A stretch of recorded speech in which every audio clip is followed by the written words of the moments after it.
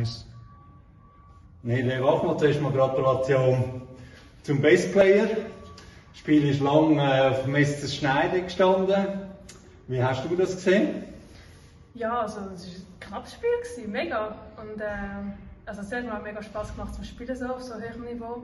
Und ähm, ich glaube, wir mussten einfach Geduld haben und es ist einfach, am Anfang ist keiner reingefallen, wir mussten einfach weiter dranbleiben, dranbleiben und ja, am Schluss ist es dann aufgegangen. Wie hast du deine eigene Leistung gesehen?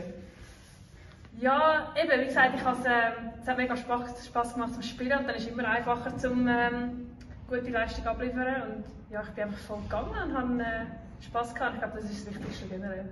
Nächste Woche kommt zum Sonntag äh, zu den Liga Fischen im Cup zum Einzug für, äh, für das Finalwochenende. Da könnt ihr optimistisch äh, schauen, oder?